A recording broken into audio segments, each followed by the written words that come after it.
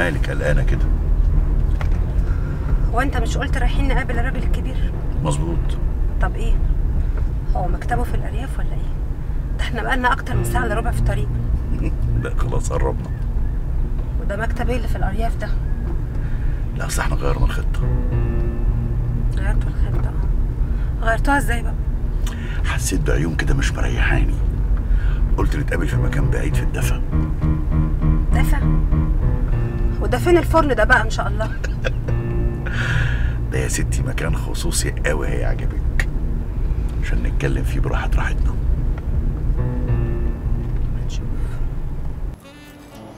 معقول الكلام ده؟ ولا ده مجرد تخمين منك؟ هو أنت ليه مش راضي تصدق؟ ما هو مش معقول. بابا إمبراطور البيزنس اللي الكبير والصغير بيعمل له حساب. يعرف واحدة رقصة؟ ليلى مش أي رقاصة يا ماجد. دي بنت شغلتها تلعب بالرجالة. بنت قادره أدرجية يعني.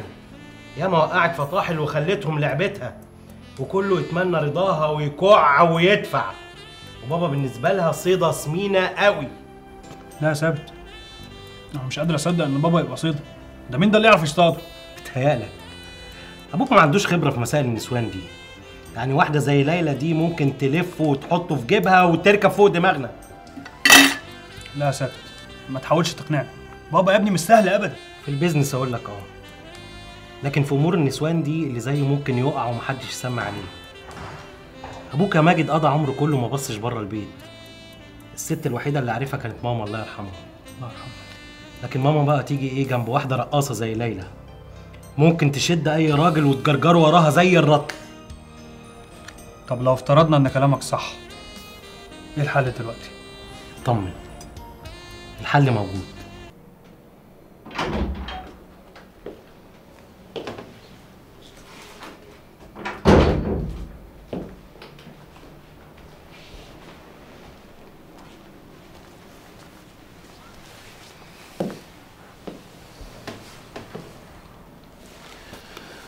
دي يا حبيبتي الصيغة بتاعت أمك.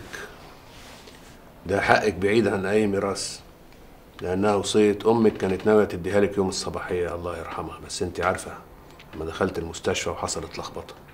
مش وقته يا بابا. لا وقته. خصوصا بعد اللخبطة اللي بيعملها إخواتك. بص يا حبيبتي المصحف ده أمي الله يرحمها سابته الفردوس. أنا هحتفظ بيه عشان من ريحة الاتنين. وفي حاجة تانية بقى لازم أقولها لك. عشان أنت الوحيدة بين إخواتك اللي ما أحبش تفهم حاجة غلط عني. لكن هما مش مهم. طول عمرهم ما يعرفوش أبوهم. لا يا بابا ما تقولش كده. فاكرني بخون أمك. الدوشة اللي حصلت من شوية في الجنينة دي سببها إن سابت أخوكي فاكر إني على علاقة بالست دي. لكن أقسم لك لا يا بابا ما تحلفش. اللي بيني وبين الست دي موضوع أنا مؤتمن فيه على أسرار تخص أعراض ناس والأسرار دي مش هقولها ابدا. دلوقتي بقى فاضل حاجة مهمة جدا. حاجة إيه؟ لازم مديحة تبقى معانا. ما أعتقدش إن مديحة هتقف ضد بابا. ما أنت عارفها. بتحب بابا قوي وبتحب ماما أكتر. يعني لما تعرف إن بابا كان بيخونها وهي عايشة أكيد هتقلب عليه. مالك بتتنهد ليه؟ يا ابني صدقني اللي بقوله لك ده هو الصح. خلاص يبقى اديني فرصة اتكلم مع سمير. وهتحكي لسمير اللي أنا قلته لك؟ ما هو لازم يعرف. ما مين هيأثر على مديحة؟ ثم خلاص سمير بقى واحد مننا. مش مهم. عموما أنا كل اللي يهمني إن مديحة تبقى معانا. ثابت وأنا ممكن أسألك حاجة؟ اسأل. أنت متغاظ من بابا عشان خاطر اسمها ليلى دي. سابتك عشانه؟ لا عشان خاطر حقوقنا. أنا كنت مستني منك السؤال ده يا ماجد. لكن أنا هريحك. أنا عمري ما بقف قدام واحدة ست مهما كانت. أنا كل اللي هممني حقوقنا اللي هتضيع علينا. وكمان زعلان قوي إن أبونا للأسف ما عملش خاطر لماما اللي وقفت جنبه طول عمرها. وكان بيستغفلها عشان واحدة ما تسواش وبيصرف عليها فلوسنا. عايزني بعد كل ده أسكت على المسخرة دي.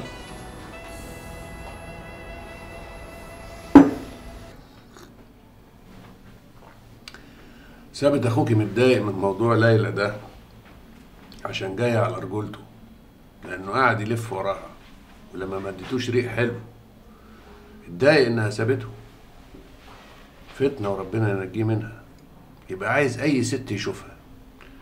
ومع ذلك الستات ملهاش أي قيمة عنده. والله يا بابا أنا مش مصدقة إن ثابت يعمل كده. ما أنا بقول لك فتنة يا بنتي. يفضل ورا أي ست لحد ما يطولها. لكن عمره ما يتهنى بواحدة ابدا. ربنا يهديه.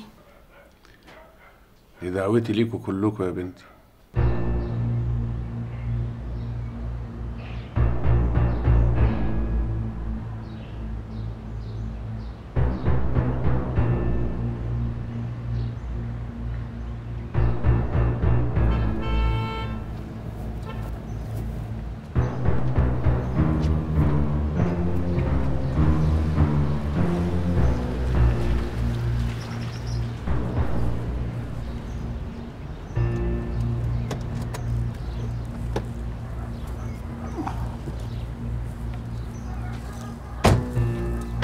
اتفضلي يا مدام. هو إحنا فين هنا يا دكتور؟ دي المنصورية. مش بعيد قوي تعتبر امتداد للقاهرة يعني. آه المنصورية. بس وإحنا جايين كده شفت ترعة صغيرة هي اسمها إيه الترعة دي؟ ما تشغليش بالك يا مدام. يلا الناس مستنيينا اتفضلي. أوكي.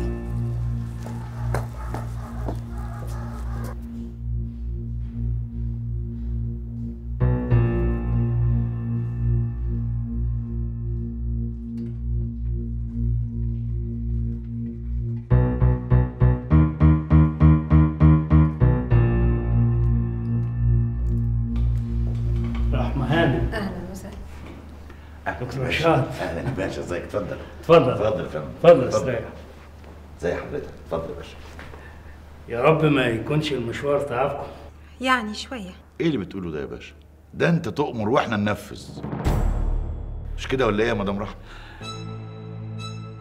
الواضح كده يا دكتور رشاد إن رحمة هانم زي ما تكون قلقانة أو تقدر تقول يعني إنها مش مستريحة.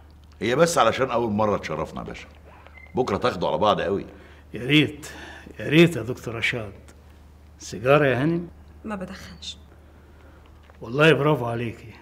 أنا عايز أجيب معاكي من الآخر. يا ريت. أنت تحت إيدك كنز ولو ما عرفناش نستفيد من الكنز دوت نبقى غلطانين. كنز؟ كنز إيه ده؟ مستشفى الطيب. المستشفى اللي بيتردد عليها عدد كبير قوي من المرضى الغلابة. حوالي 250 مريض في كل التخصصات يوميا. طب والمرضى الغلابة دول هناخد منهم إيه؟ دول حتى ما حلتهمش تمن التذكرة. لا اسمحي لي بقى يا رحمة هانم. المرضى الغلابة اللي انت بتقولي عليهم دول حيلتهم كتير كتير قوي. وهقول لك اولا الأدوية اللي بتوردها لكم وزارة الصحة ديت مدعومة مخصوص علشان المرضى الغلابة دول. صدقيني الأدوية ديت هي الثروة الحقيقية. وأنا بقى هعرف أدلكم إزاي تاكلوا الشهد من ورا الأدوية ديت. ثانيا الأسود. الأسود. وده يطلع إيه؟ أنا هفهمك يا رحمة هانم. الأسود ده هي الأدوية اللي فاضل على صلاحيتها أسبوعين أو ثلاثة أسابيع أو خلصت صلاحيتها خالص. الأدوية اللي بتوردها لكم وزارة الصحة ديت ممكن إن إحنا ناخدها ونبيعها بأقل من ثمنها يعني بخصم 10 20% ساعتها بقى الأدوية دي هتتباع هوا ونجيب مكان الأدوية دي أدوية منتهية الصلاحية وهنشتريها رخيص ب 10% من سعرها الأصلي. عارفة بالحسبة البسيطة دي يا رحمة هانم هيطلع لنا كام في الأدوية دي من المستشفى بتاعتكم؟ على الأقل في السنة 2 مليون جنيه. يا نهار أسود. أدوية منتهية الصلاحية. دي تموت الناس. أصلا في ست شهور كاملة بعد تاريخ انتهاء صلاحيتها. ما بيكونش فيه ليها أي أعراض أو تأثير. صدقيني. ولو مش مصدقاني تقدري تسألي الدكتور رشاد. ولا إيه رأيك يا دكتور؟ طبعا. هي بس كل الحكاية إن فعاليتها بتقل مش أكتر من كده. ولو هتدخل لنا 2 مليون في السنة يبقى انت نصيبك منهم 250 ألف. يبقى لازم تفكري. ده غير بند الأدوية اللي موجودة على جدول المخدرات ودي ممكن تجيب لنا من حصص المستشفى بتاعتكم حوالي 2 مليون جنيه كمان. ياه يعني يبقى عندك من بند الأدوية